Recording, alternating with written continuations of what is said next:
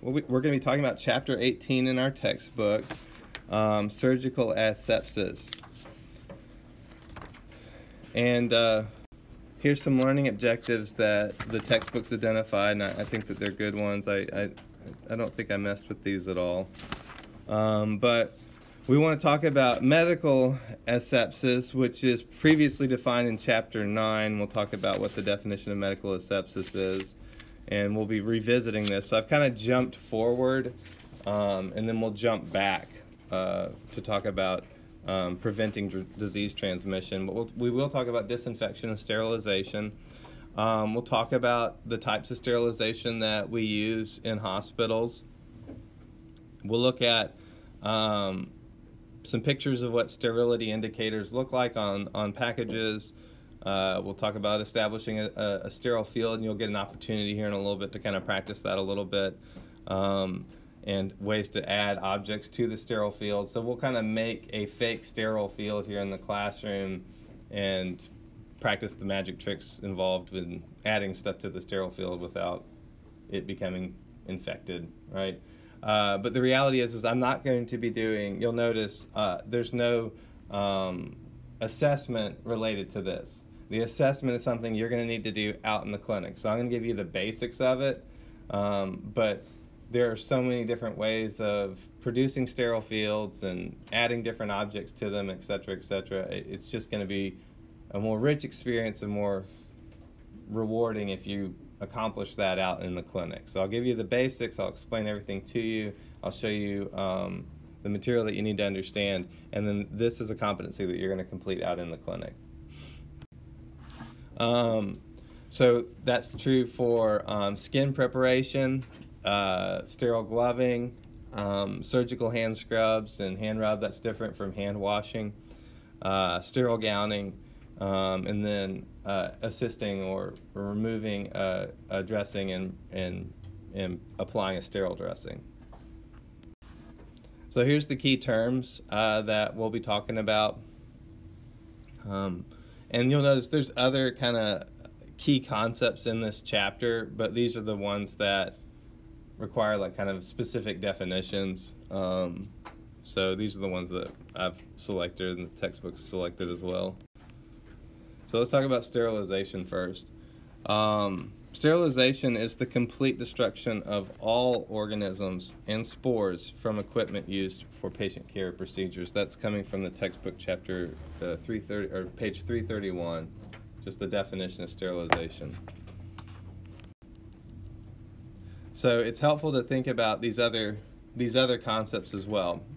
Medical asepsis is kind of the environment that we swim in in a hospital. And these are the various methods that we have of reducing pathogenic organisms in the environment and intervening in the process by which those microorganisms are spread. So pretty much everything in a hospital is designed to do that. From the way that doors are designed, to the way that the airflow through the building works, um, to the lighting in certain areas, to the temperature even in certain areas, um, is designed to reduce pathogenic organisms, microorganisms in the environment. Um, and so, uh, one thing I want to point out to you is that your body really is a universe, right? Um, it has various environments inside of it. Um, like they talk about in uh, in yoga and stuff, health is in the gut, right? Well, what's really in the gut is a whole lot of microbacteria, right? In fact, there's more single-celled organisms I have heard living in your intestines than there are cells in your body right? Now, every single of uh, every single one of those microorganisms that's living in your intestines, you received it at a really, really early age, right? You received it like with your from your mother, from your father, in the environments that you were at in your home, right? And so they are unique to you. They've evolved over the course of your life, and they have their own little shapes and forms and things. They live in a, an environment that's unique to you. They love you, right, and everything about you, right? Um, but if they were to enter into my body, they would make me sick, right? So they're unique to you. So each one of you really is just this little walking around disease bag, is what I'm saying, right? And we understand that in hospitals, that every single person you come into touch with is just this kind of gigantic floating bag of infection, right? Um, walking around on bones, I guess. But that's why physicians and some people are not really happy about shaking people's hands, right? Um, or, you know, um, you know, the side hug thing or whatever. The, the you know, uh, um, what do they call it? A, like caring touch or whatever. They're not really into that whole thing because they have fully subscribed to the walking disease bag philosophy. Um, I'm almost in that camp, but not quite. I've seen extreme examples of it. But it is worthwhile knowing. Now, the reason I point that out is because those microorganisms, those microflora that are existing inside your gut, right, um, they actually are really critically tied to your health. They have jobs. They live in a, a symbiotic relationship with you. Um, so medical asepsis is designed to reduce the disease, those microorganisms from moving from one person to another. It is not designed to completely eradicate them. And that's important, right? Because if you start completely eradicating these things, you can actually cause more problems, right? So it's something I want to stress that we are trying to figure out ways to maintain the little universe of each person that walks around inside the hospital while making sure that those universes don't pass organisms between each other because that would be a problem. But when we talk about surgical asepsis and sterilization, we are talking about destroy with extreme prejudice. Destroy it all, kill it all, and let God sort them out. Like, I don't care if it was a beneficial bacteria or not, we're going to kill all of it. Um, so, sterilization is the complete destruction of all organisms and spores from equipment used to perform patient care. And so, the process of creating and maintaining a sterile field is what we're talking about when we talk about surgical asepsis. So, I just want to point it out. Those terms are radically different. I know they both have the word asepsis in them, but they are radically different. Um, one of them is kind of the environment that we walk around in the hospital, an environment of medical asepsis, hand washing, things that prevent the, the spread of disease, right? They, we're not preventing the disease, but we're preventing its spread. And surgical asepsis is we're creating sterile environments where everything has been destroyed. Um, now, here's the creepy thing about sterile environments where everything has been destroyed they're beautiful, right? It's like you, you get this sense of like, how God must feel when he wipes out an entire planet or something. It's like, boy, this is this is beautiful. All that craziness is just gone, right? Like God after the flood. Boy, it got really quiet down there. Um, so truly sterile environments are wonderful. Like if you've ever had sinus, you know, sinus problems or anything like that, to really go into a sterile environment is, is kind of redeeming. There, well, how do we achieve it, right? How do we achieve sterilization? Um, well, there's a bunch of different things that we can do. We can just take stuff that kills things and soak the other things in the stuff that kills things, right? And everything that's on that thing will die. That's chemical sterilization. We take chemicals that are really, really toxic um, and we soak the things in it and then it, it, kills everything on the surface. These, uh, so an example of chemical sterilization that we use all the time is what I've called baby killer wipes, the Cavicide wipes right? Those are a form of chemical sterilization or it's a chemical cleaning product. I would treat it as a chemical sterilizer and wear some freaking gloves anytime you're handling those things. If it's an alcohol wipe, don't worry, you don't have to worry so much about gloves, although I, I still would recommend gloves. But the Cavicide wipes, that's serious chemical sterilization equipment that they've put on a wipe. That's why it says no babies. Um, so though this is one of the less satisfactory methods for sterilization, it's kind of old school and it, it involves more time, preparation, um, and it can be difficult to completely sterilize an object by chemical sterilization. So we autoclave, right? And this is probably the most old school form of, of, of sterilization. Just get the thing really hot, right? So they it involves heat and steam under pressure. Um, it's like a, basically a, a, giant pressure cooker. Um, and this is one of the most common methods used for sterilization.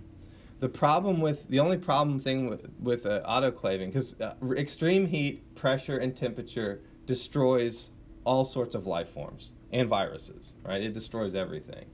Um, but we can only do that to like metal stuff, right? And not everything we use in a hospital is metal. So this would be completely useless, for example, for cleaning off um, plastic pieces like this uh, this tubing over here that I've got on the podium, right? Um, it would melt the plastic, it would render it useless. Um, but it is very convenient. Um, in general, what we're talking about is the object has to be able to withstand um, high temperatures, and that's 250 to 275 degrees Fahrenheit, and that's here in the textbook right here. So, um, but very often this is used for surgical instruments and trays because those are made out of metal.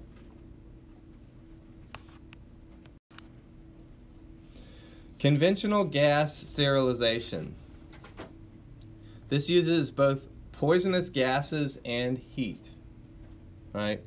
Um, this is good for stuff that can't be autoclaved. If it can't withstand the heat of the autoclave, um, so stuff that's electrical, plastic, rubber items, optical stuff, um, even telephone stethoscopes, blood pressure cuffs can be gas sterilized. What's the problem with gas sterilization? It is a poisonous gas it kills people too, right? Um, so we have to leave time, additional time to vent the gas out of the building. And we have to vent it very slowly because there's all sorts of government laws about how quickly you can vent this gas out of the building, right? They've said, okay, X amount of this poisonous gas is okay in the atmosphere or wherever, um, but you got to vent it kind of slowly. You got to let it out there slowly, right?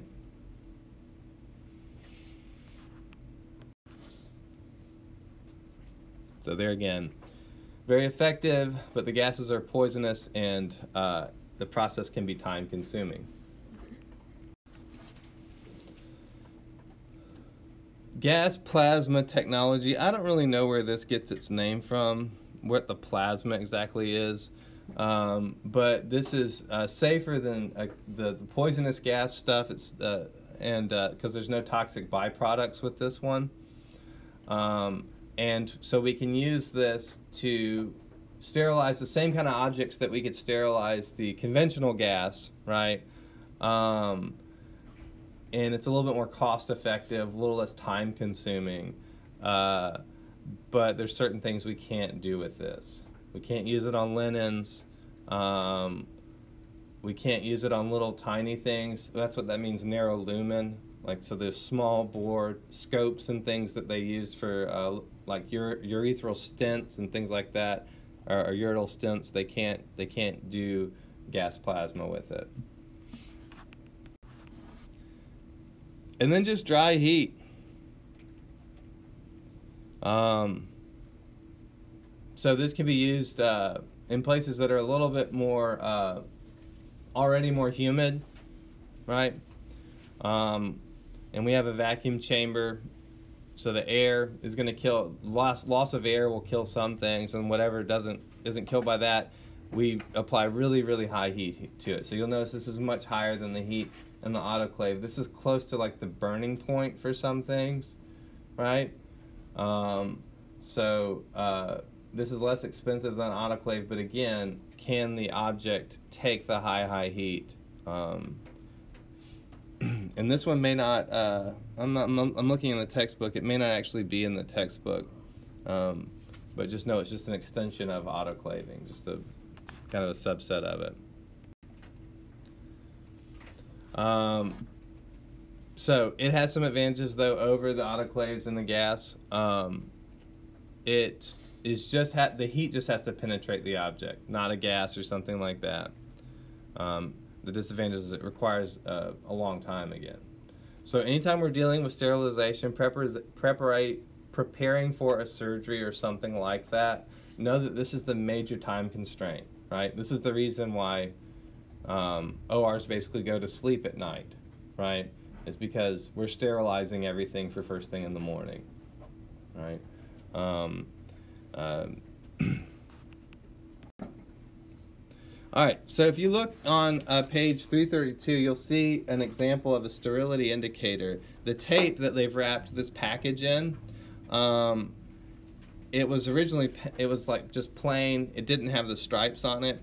Once it had been subjected to the conditions of sterilization, it got those little candy stripes on it, right? So it lets me know, okay, this is a sterile package, and then it has a, a label on it to tell me when it was sterilized so I can know how long that sterilization will last.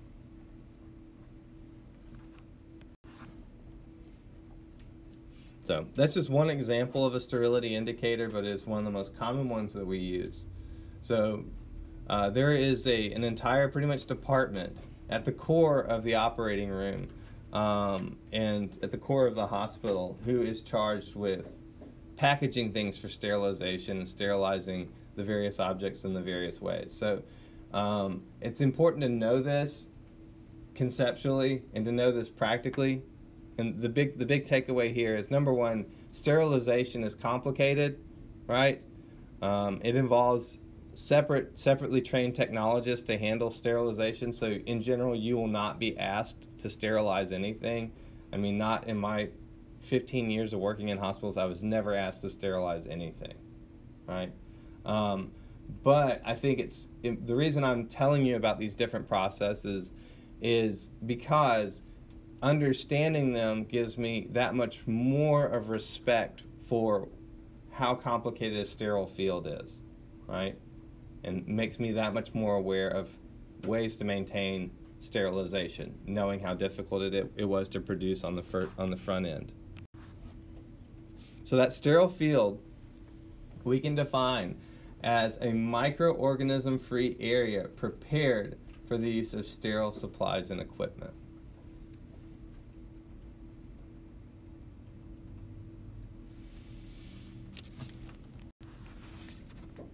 So how do we make a sterile field? And if you want to, you can follow along this on uh, page uh, 334. It's got all the pictures and stuff of, of how to of how to do this, right? We're going to clean the surface first off, and we're going to clean our hands, right? Um, then we'll inspect the package. So a lot of times there's instructions on the package that are super helpful and worth checking out. Um, but we will make sure that the package is, is intact, that no part of the package has been damaged, anything like that. Just like if we were buying yogurt at the grocery store, right?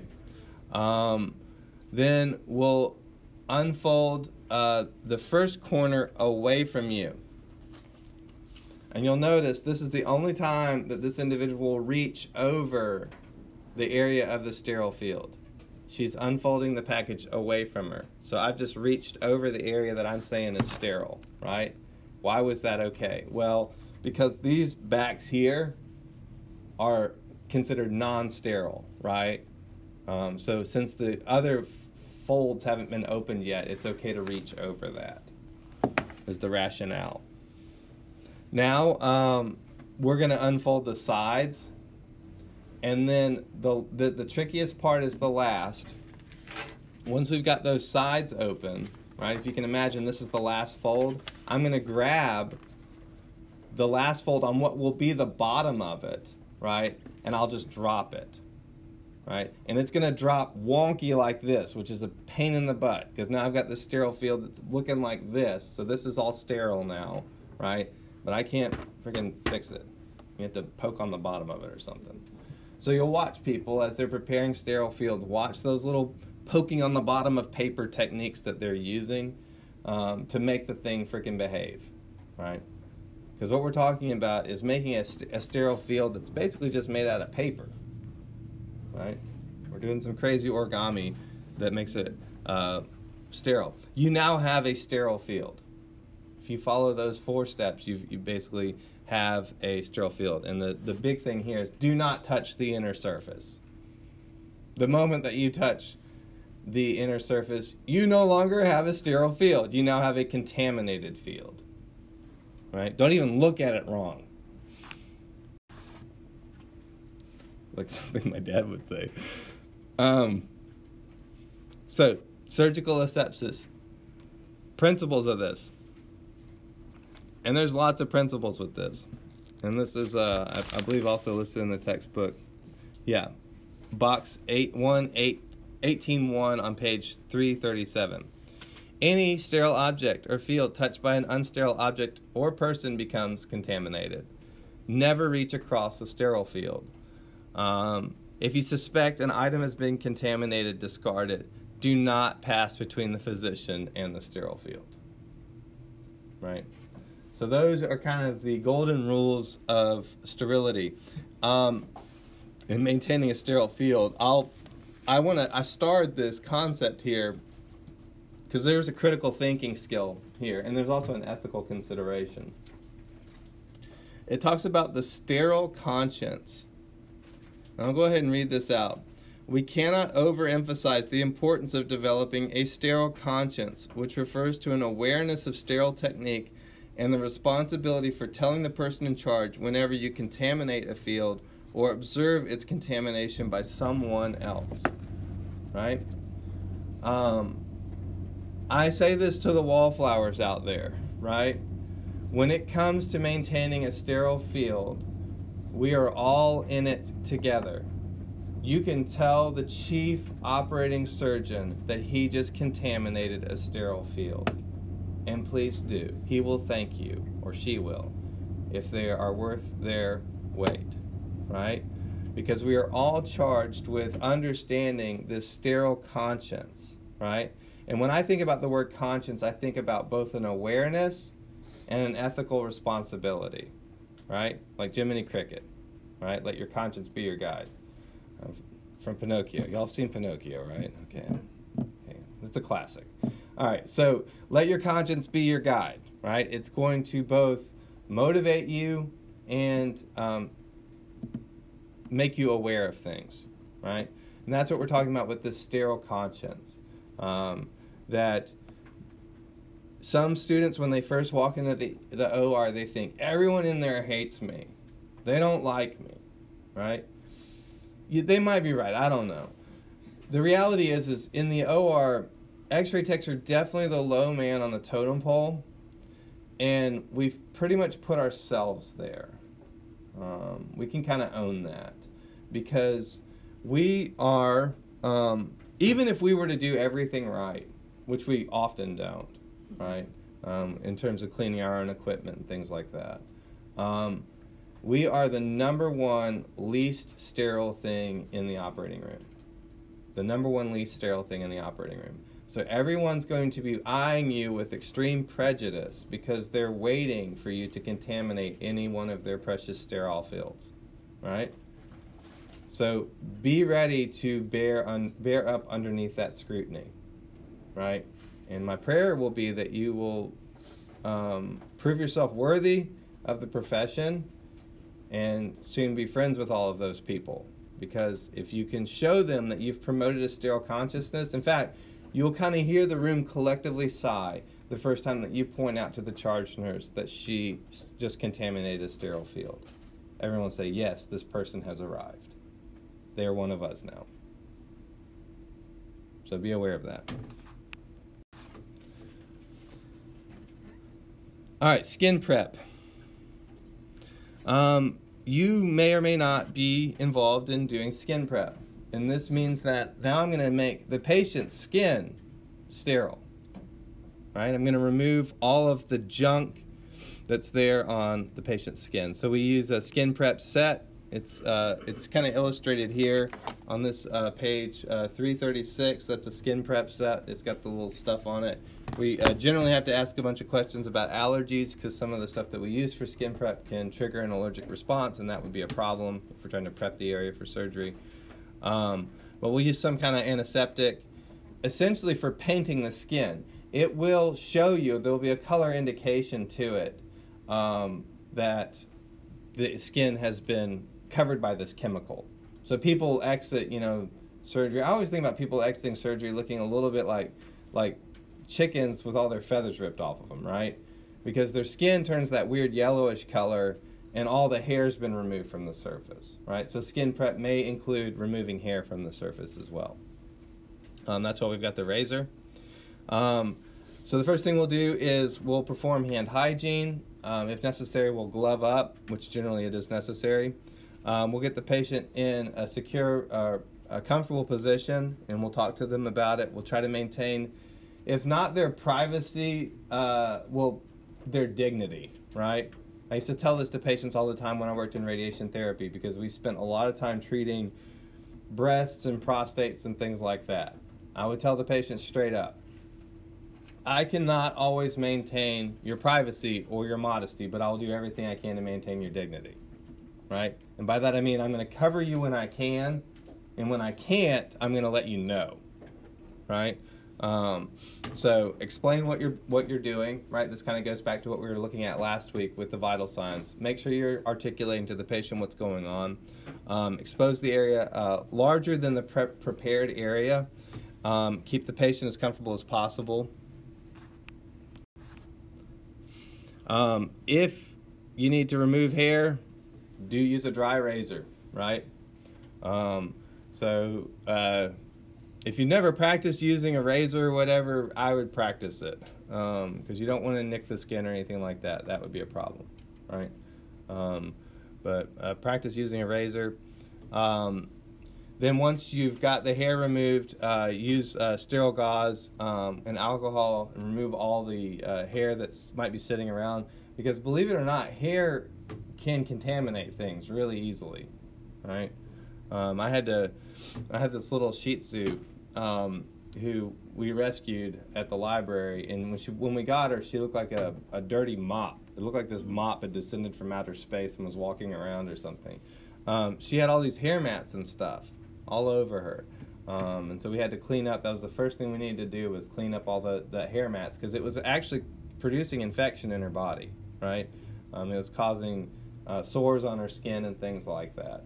So I always think about her. Her name's Honeybun. Um, so then we're gonna now that we've got the hair out of the way, we're gonna perform the actual uh, hand hygiene and don sterile gloves, right? Um, and we'll waste a little bit of the antiseptic into a container, like into a trash can or into the sink. And the idea being that we are sterilizing the lip of the antiseptic bottle, right? So there's an illustration of this person pouring some of it down the drain for their homies, right? Mm -hmm. um, and then uh, you fill up the medicine cup with antiseptic. And this medicine cup that we're referring to is here on this sterile tray. So this tray here is sterile, right? Um, moving along. So with our sterile gloves on, we will uh, get some of those gauzes or sponges, or this little doodad here that looks like a stick man with a flattened head. Can you see that little weird looking thing there? That's a ChloraPrep, and you just you just compress the little arms together. It pops something inside the container, and then it wets the sponge with the prep with the with the sterile chemical, and you literally paint the area. And you start in the center, and you work your way out from the center. And I don't retouch the center, right? I'm basically just working from the center out in a big spiral. We're not scrubbing it or anything like that. Um, we allow the skin to dry. If we need to, we can repaint it with a separate thing. We can grab a separate sponge or a separate ChloraPrep and do that process again of spiraling out from the end, right, with a new one. Um, and then we'll drape the area and we apply some kind of sterile drape to the patient's skin. A lot of times it has like an adhesive or something on it that kind of sticks to the skin there, right? That is uh, prepping the patient for a, a sterile skin. All right, let's talk about surgical hand scrub. This says wear surgical attire, and what that means is whatever the hospital has or the medical facility has uh, said is appropriate attire to be worn in the hallways of the operating room. So uh, within surgery, within the operating room, if you will, there's these halls that connect to the various surgical theaters, the various operating rooms, right? Um, but just I'm just I'm stressing that because you will enter into the OR department, and at that point you should be wearing some of this proper proper surgical attire. You should be wearing something covering your hair. If you have a gigantic beard, you will literally have to put your gigantic beard in a like plastic bag thing. It's really fun. That's why I don't have a gigantic beard anymore. Um, you uh, you'll probably need to wear some kind of foot covering and uh, and and whatever the hospital has said in terms of the the scrubs, the clothing that's worn in and out of the OR. And in general, the OR has the most comfortable scrubs because I don't know where they get them from, but super comfortable. So there's normally a changing room or something like that where you need to change into separate OR scrubs. Um, you will use a to to operate the sink there's uh, foot or knee pedals. So you'll push down on the foot or knee pedals that will start the water flowing and the, the spigot for the water if you look here it's kind of got this high arch to it like that. And that's to help you do these maneuvers right? Because similar to what I was saying about how we want to scrub from the inside and move out we're working from our fingertips down we want the crap off of our fingers is the purpose of this because we're using our fingers to help out. I'm not trying to perform surgery with my elbows is the idea. So wash the crap down towards the elbows and you're good to go. So that's why the sink is designed that way and that's why we uh, it doesn't have like hand controls on it. It's because we're trying to clean off our hands. So we're going to hold our hands like this and we're going to wash our hands like this. Um, you wet your hands, you use an antimicrobial soap, and there'll be these little um, bristles that you'll you'll wash all around all of your little fingernails, right? Like this. You'll wash each of these little things up on top of your hands. I can't remember what those little folds are called. I'm sure they have a medical name, right? You're gonna wash all of that with this little bristle. Um, you'll keep your fingernails trimmed short. Um, the hospital, the book, the book mentions that there's a lot of controversy around whether you should wear shoe coverings or if it's okay to have your fingernails painted. I don't see any controversy. I would just say wear the dang shoe coverings and don't paint your nails, right? If you're going to work in the OR. Um, uh, and you should be good to go in terms of this uh, surgical prep. If now, if you aren't having to scrub in regularly, like so, I worked in an OR for five years operating X-ray equipment with spine surgeons and stuff like that. I never once scrubbed in on a case. I would always just wheel my equipment in there, make sure the equipment was clean, and I was and like I said, I was the number one most contaminated thing in the room, right? So I lived in the operating theater in the operating room as the number one most contaminated thing because I did well, I wasn't doing any of the scrub. I did not need to scrub in. Why? Because the X-ray equipment was not sterile, right? And I was doing every my job was to drive this equipment without running into any of the sterile fields. Right?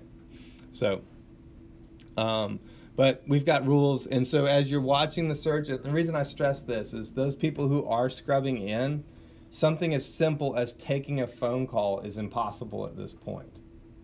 Right? Um, looking to make sure you've got your wallet in your back pocket. Can't do that anymore, right? Um, did I remember to take my uh, kids' lunch to school? I don't know, because I'm scrubbed in. So, uh, be aware that when that when the physician, when the doctor, or when the circulating nurse or the uh, the the surgical techs enter the room, they'll have their hands like this, kind of held away from their body, um, like they're a mad scientist.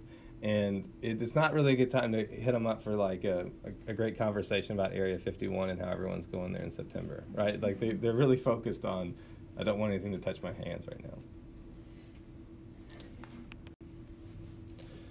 All right, I don't know that I'm going to go into a whole lot more with this, but the, the big thing here is once I've scrubbed everything away to keep my hands above my elbows, because again, the water that's running down my arms now, I don't want it running towards my hand, I want it running away from my hands.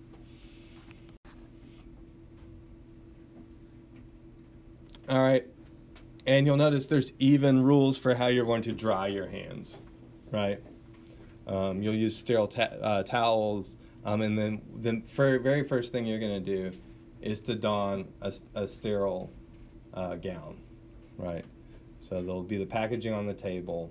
Your hands are basically considered fairly sterile. You'll kind of gently open this gown up and you'll basically walk around with your hands inside the gown sleeves until you have put gloves on. So there's an illustration of that on here. So she was able to grab the gown, and now she's walking around with her hands inside the arms on page uh, 342.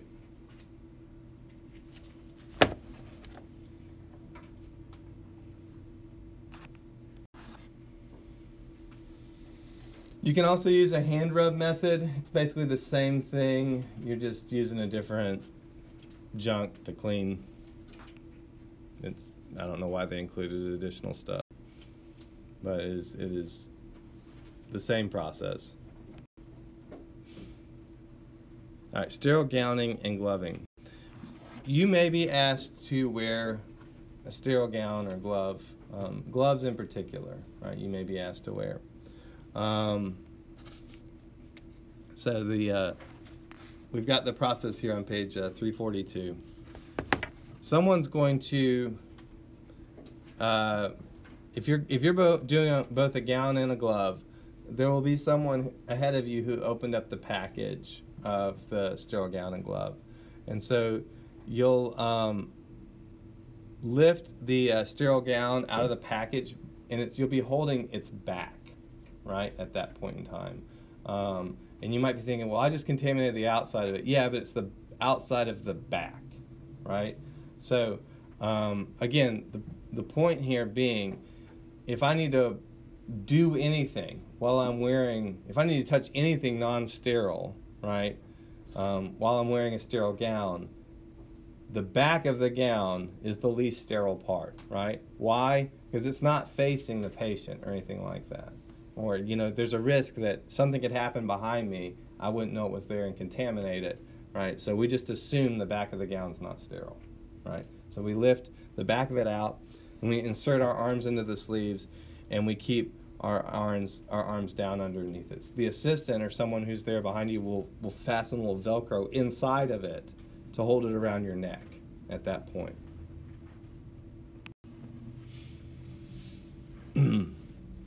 now, if you've got a gown on, putting on the gloves is super easy, right? Because you can use the gown to grab the gloves, which is really helpful, right? So she's using the gown to grab the gloves, and she's able to hold the hold the gloves with the gown, right, um, without contaminating the gloves. That's really helpful. It's helpful to be able to grab stuff like that. You can't you can't do that normally if you're just gloving without a gown on. You'll start with your non-dominant hand. You'll stretch the uh, thing out over your hand, and then uh, you'll pick up the second glove with just that sterile glove, and you can work from there. It's pretty straightforward at that point.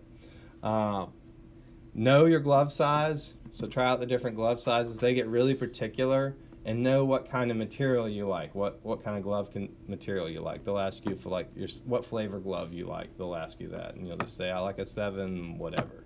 You know, seven and a half. This. Um, know what works best for you.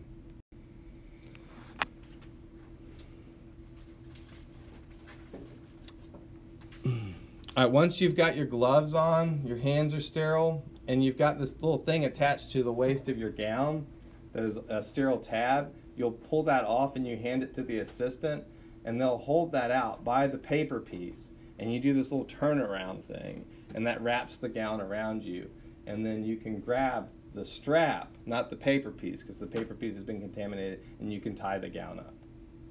Right? Then your, your gowning is complete. Now, one there's a couple of critical thinking things here that I want you to understand. If a person is going to wear a lead apron, they will need to have put it on before they wash their hands, before they put on those gloves, and before they put on that gown, right? So, one of the jobs that we have as x ray techs is to have the x ray equipment in the room prior to starting the, the surgery, right? And to know what the doctor's preferences are for shielding.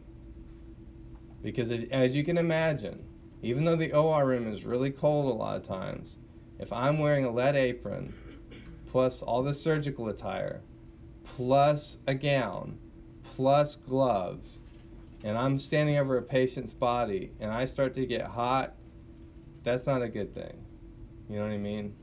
Like if I'm having to operate a scope or I've got a splash shield on my face and I start to sweat and I fog up the splash shield, that's a problem, right? So what I'm saying for us, the critical thinking part for us is to communicate with your physicians, understand from them or from the charge nurse, talk it up with them.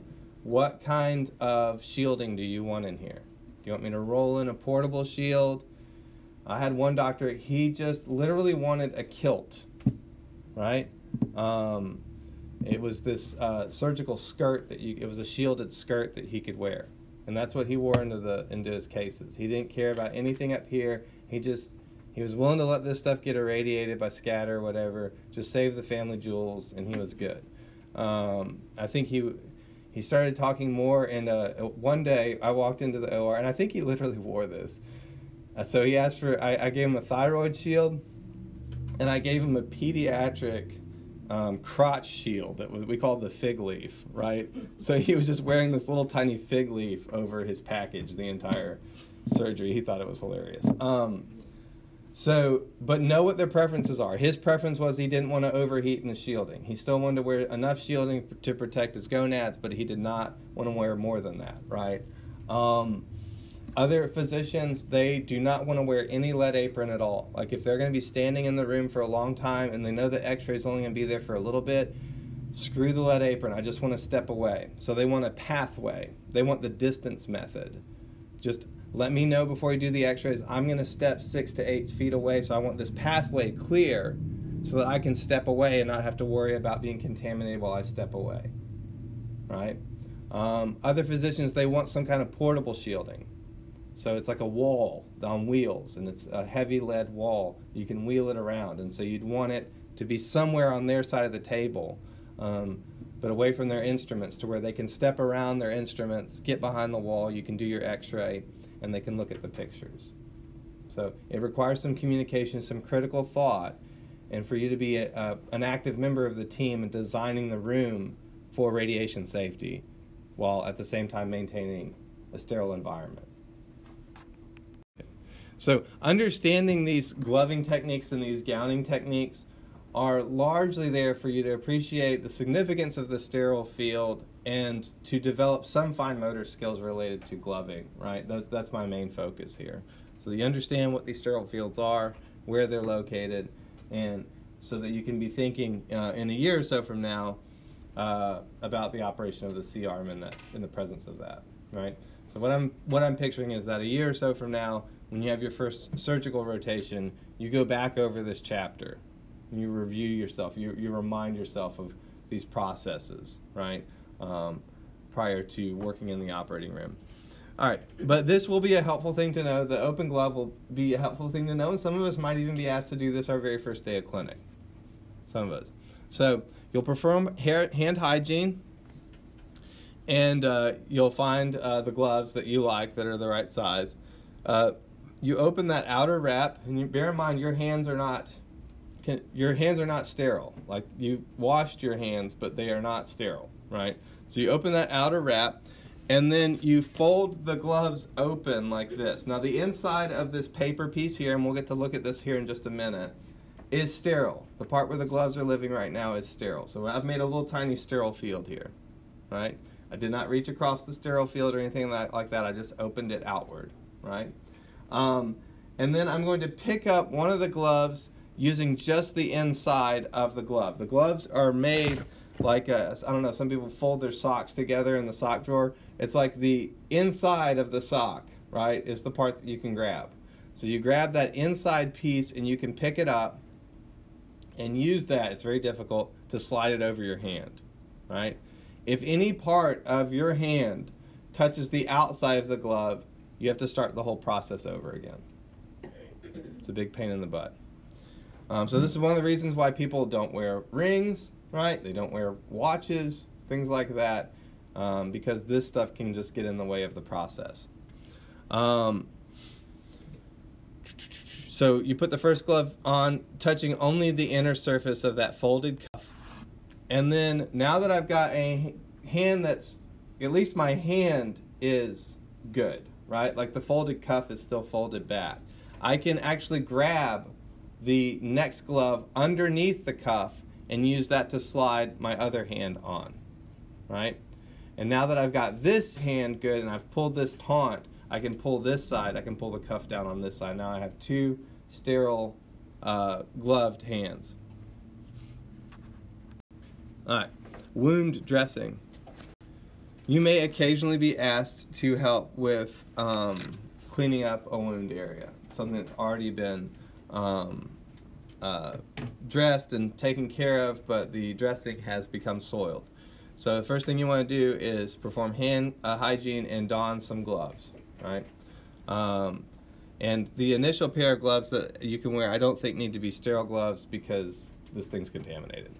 Um, so you inform the patient, you let them know what you're going to do. You remove that dressing, um, making sure you're not going to cross-contaminate yourself. So you're going to treat the dressing and your gloves as all contaminated, right? No part of it should be touching you. Um, you don't want to hurt the patient, but then you will dispose of all of that in a biohazard container, right? Um, once you've done that, you're going to remove the gloves as well and dispose of them, right? Then you perform hand hy hygiene again. So I've got this uncovered area. And prior to this next step, we should have prepared these slide these uh, supplies. But I've got my sterile gloves now, sterile drape, sterile gauze, tape, and some kind of normal saline. Um, so I've, again, performed my hand hygiene. This was not a surgical scrub, just hand hygiene. Um, I'll have some tape torn out to like posted along the side of an edge so I've got it there and it's convenient. I'll open up that drape package. I'll put on um, my sterile gloves, right? Um, and then we're going to clean the area as need be, right? Um, and